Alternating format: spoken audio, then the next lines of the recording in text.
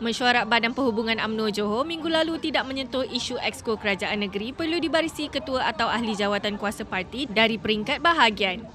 Ketua UMNO bahagian Pulai, Datuk Nur Jazlan Mohamad berkata pada mesyuarat dipengerusikan Menteri Besar Johor Datuk On Hafiz Ghazi pada 11 Februari itu, tiada isu mahukan lebih ramai Exco Negeri terdiri daripada Ketua UMNO bahagian.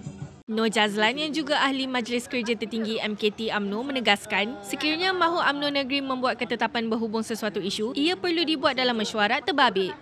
Memaklumkan tidak tahu mengenai desas-desus ketua bahagian tidak berpuas hati dengan rombakan esko kerajaan negeri pada selasa lalu, Nur Jazlan mempersoalkan bagaimana isu berkenaan tercetus dan siapa yang tidak berpuas hati.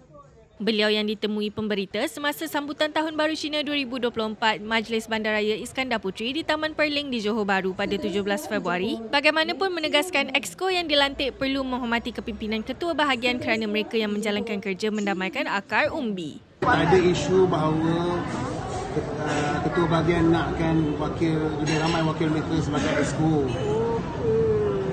yang ditimbulkan dalam surat tu. Jadi bila apa dia keputusan tu diumumkan. Saya tak tahu lah siapa yang apa tak puas hati ya, kalau nak buat kalau nak buat satu ketetapan pun buat dalam mesyuarat hubungan negeri. Setakat ni barisan expo yang ada ni pun adalah barisan, barisan terlibat belum muda yang berpendidikan. Uh, terpulang pada mereka lah untuk menunjukkan prestasi mereka. Ya.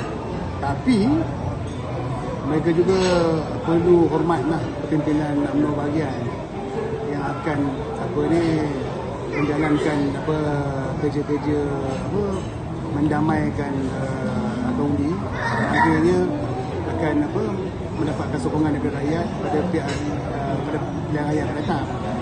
Jadi kalau Esko Kerajaan Negeri nanti tak prihatin tak peka kepada uh, keperluan uh, ketua-ketua bahagian pun kan dalam apa usaha untuk nak mendamaikan apa dia grassroots ni. Jadi uh, saya takut matlamat keadaan negeri pun tak akan tercapai.